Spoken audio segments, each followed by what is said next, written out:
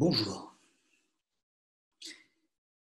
Nous sommes euh, chirurgiens dentistes et une grande part de notre activité consiste à réaliser des actes de dentisterie restauratrice. Ces actes correspondent à un traitement d'un certain nombre d'événements euh, pathologiques au niveau des dents. Et euh, il est intéressant de se poser une question toute simple.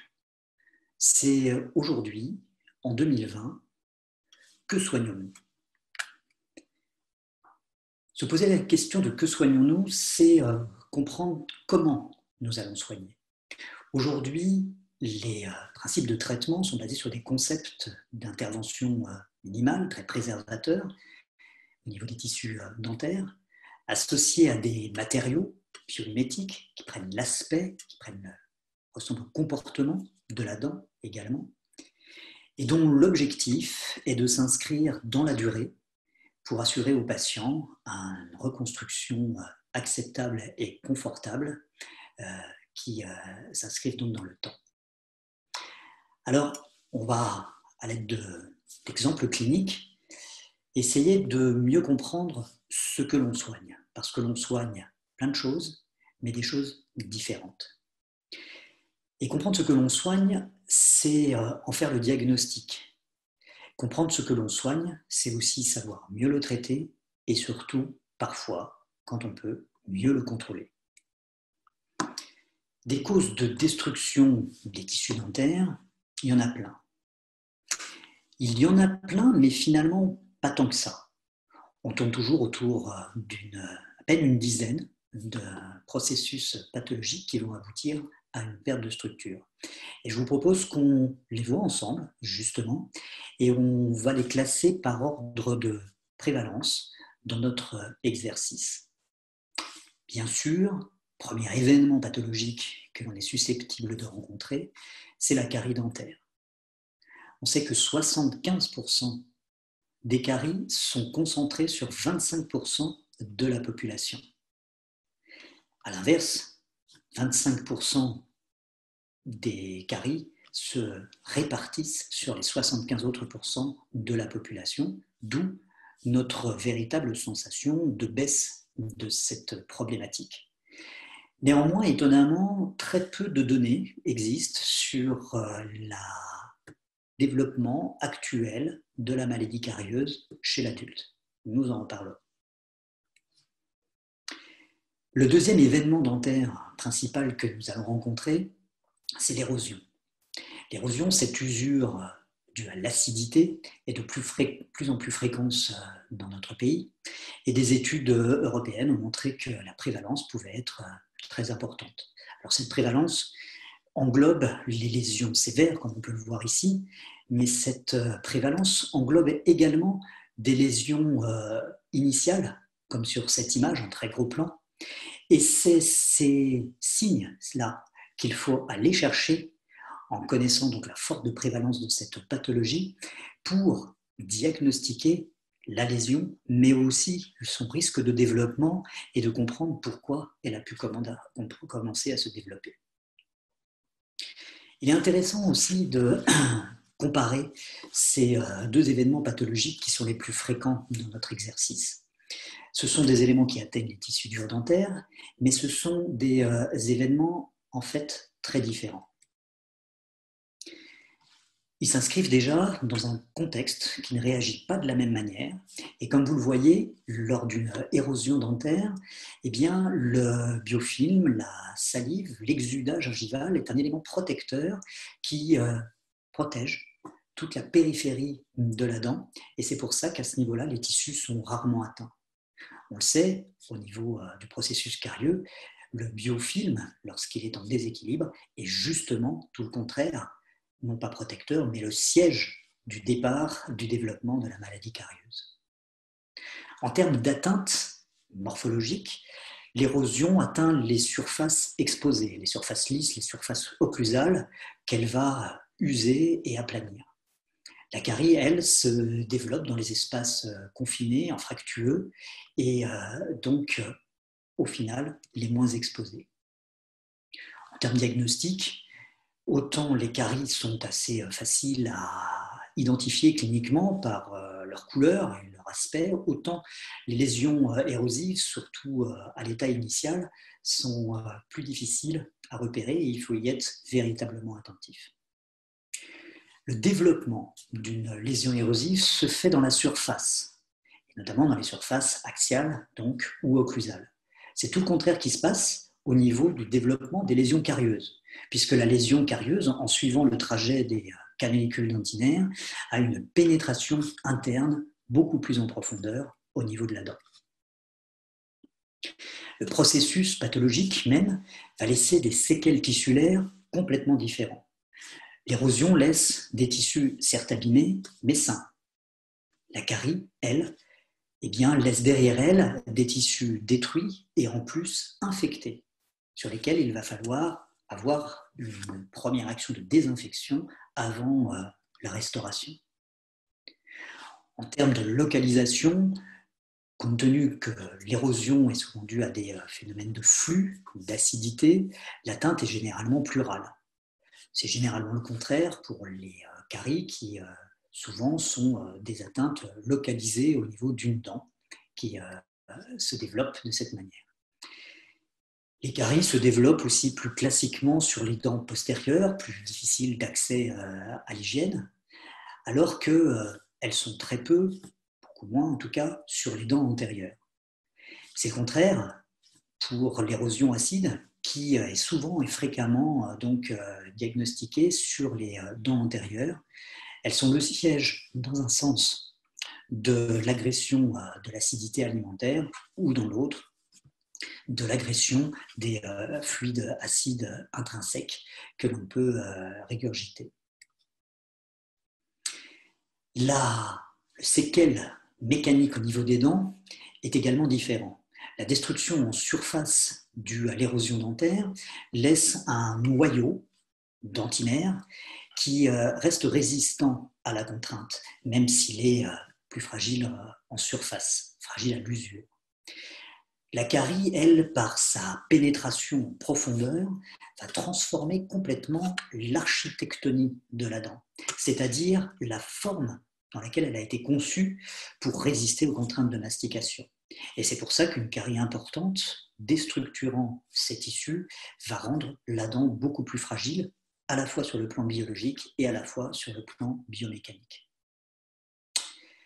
Le troisième événement dentaire que nous avons euh, à traiter et que nous rencontrons très souvent, c'est la réintervention.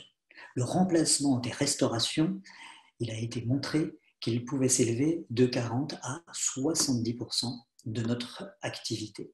Ce remplacement est naturellement dû au vieillissement des euh, restaurations. Et il faut se poser la question aujourd'hui si l'on peut avoir une action sur ce vieillissement, une action initiale, mais également une action dans la durée.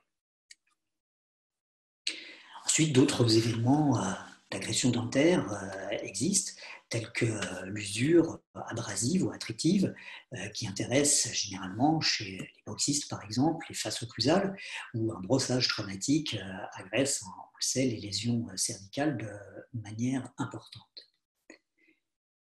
Un autre type d'événement d'agression dentaire sont les fêlures. Elles sont généralement dues donc à des contraintes de mastication sur des dents généralement ayant déjà des euh, obturations existantes, fragilisantes. Et ces fêlures sont euh, le véritable siège de passage toxiques bactériennes qui vont agresser à la fois biologiquement les dents et qui peuvent conduire bien sûr à des euh, fractures importantes. Ces fêlures sont à surveiller et à diagnostiquer le plus tôt possible. On rencontre c'est vrai de manière moindre, mais on rencontre chez l'adulte eh des euh, problématiques de fractures.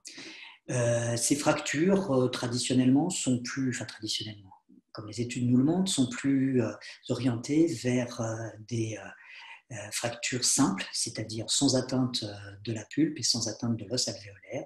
Elles intéressent les tissus amélaires et dentinaires et sont donc le siège de toutes nos possibilités de restauration adhésive. Puis, plus rare, les anomalies de structure ou les anomalies de teinte, comme l'aménogénèse imparfaite ou les NIH, que l'on rencontre quand même assez souvent, sont des anomalies qui peuvent être plus ou moins destructrices du tissu et conduire à des besoins de restauration également. Et pour finir, les dernier euh, type d'agression euh, du euh, tissu coronaire dentaire, ce sont les résorptions coronaradiculaires externes, qui sont des pathologies auto-immunes d'origine parodontale et où des cellules vont se retourner contre le tissu dentaire. Il ne s'agit pas de pathologies infectieuses. Et ces pathologies sont généralement sans signes cliniques, ce qui les rend d'autant plus difficiles à repérer. Il faut être attentif et notamment à ces signes que sont les euh, pink spots, où l'on voit de la dentine pénétrer euh, sans douleur la résorption euh, externe et donner un aspect très rose à la dent qui en est atteinte. Alors, on a vu que ces différents aspects des événements d'agression dentaire que nous pouvons avoir à, traiter prennent des formes tout à fait différentes. Aujourd'hui, Étonnamment, on n'en connaît pas également la fréquence, la répartition euh, dans la population française. Et c'est en faisant ce constat et en se posant cette euh, question que euh, nos deux équipes lyonnaises et parisiennes ont développé une étude d'évaluation qui s'appelle l'étude RestoData et dont l'objectif est d'évaluer l'état de santé dentaire dans la population euh, française aujourd'hui, en 2020, et euh, chez l'adulte, et également euh, d'évaluer la qualité des restaurations que l'on trouve dans la bouche de nos compatriotes. Nous ne manquerons pas de vous donner les résultats dès que possible. L'étude est en train de, se finir et nous sommes sur l'analyse des résultats. Je reviendrai vers vous pour vous renseigner. Alors, ces événements euh, dentaires et les destructions donnent euh, lieu à des besoins de soins, c'est ça qui est important hein, de noter. Et aujourd'hui, les euh, traitements proposés sont essentiellement orientés vers les restaurations adhésives.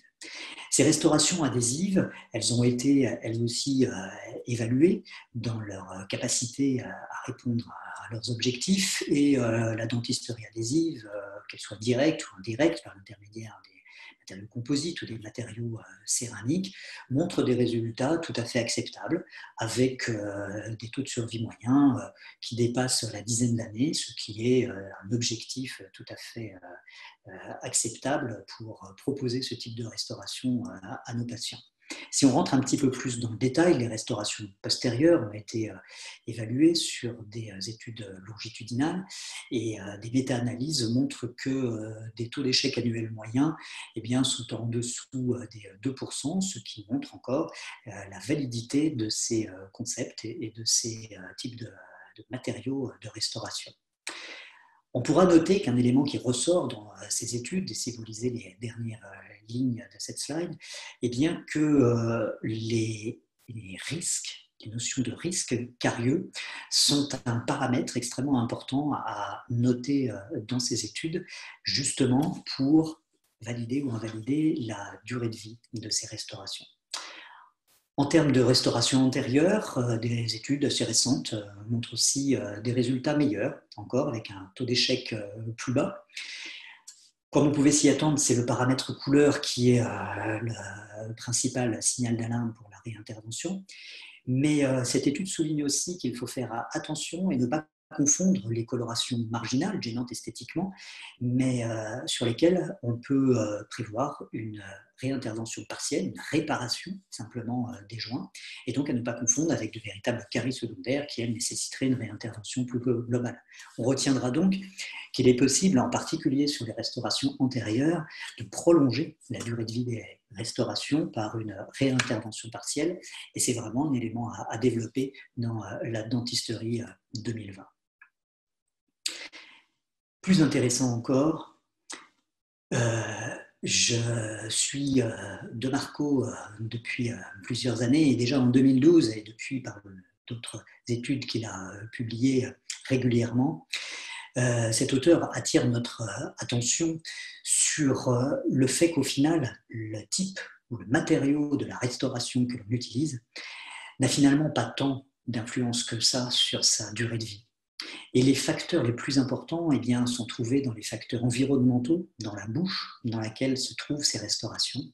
Et c'est ce qu'on appelle donc les facteurs de risque carieux, les facteurs de risque érosifs, qui euh, sont véhiculés par euh, l'écosystème euh, bucco-dentaire, par l'intermédiaire du biofilm, de notre alimentation acide, les variations de température, les forces de mastication dans le temps, bien sûr, et, et la salive qui est un petit peu euh, une inconnue. Alors on sait beaucoup de choses sur la salive, mais on l'oublie. On l'oublie parce qu'on ne la voit pas, tout simplement, cette salive euh, transparente, cette salive qui est un film simplement, qui recouvre les dents euh, et les muqueuses, et pourtant, et pourtant qui est tellement importante dans notre bouche. C'est la salive qui assure l'écosystème bucco-dentaire.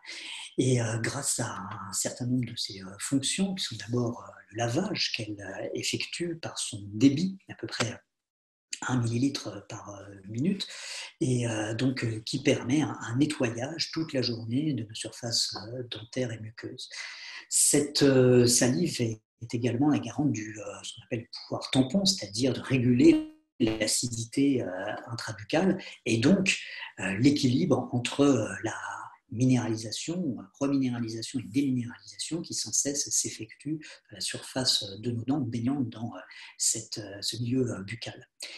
C'est d'ailleurs elle le siège même de ce transport d'électrolytes qui vont être le garant de cette, ces phénomènes d'équilibre, reminéralisation, déminéralisation. C'est elles qui vont être le vecteur, le transporteur également des molécules médicamenteuses qu'on peut apporter, comme le fluor par l'intermédiaire des dentifrices et des bains de bouche. La salive aussi, naturellement, euh, créer la pellicule acquise qui se dépose sur euh, nos dents, ce film glycoprotéique utile et nécessaire à tout cet euh, échange et qui peut, on le sait, donc être ensuite le siège du développement du biofilm qui, je vous le rappelle, pendant longtemps peut être un biofilm équilibré et un biofilm garant de la bonne santé de notre bouche. Cette bonne santé, elle est d'ailleurs très globale puisque en plus de la salive et de tout ce qu'elle contient, eh bien, les euh, cellules desquamées, les euh, micro-organismes, les, euh, les, produits de dégradation cellulaire et bactérienne, tous les organismes extérieurs qui peuvent être ingérés, inspirés, eh bien, créent dans notre bouche un milieu très complexe qu'on appelle le microbiote. Et l'on sait que ce microbiote, eh bien, c'est celui qui existe dans notre bouche, le début de celui qui existe dans tout notre appareil digestif et qui va donc être le garant d'un bout à l'autre de notre système euh, digestif et de son bon fonctionnement.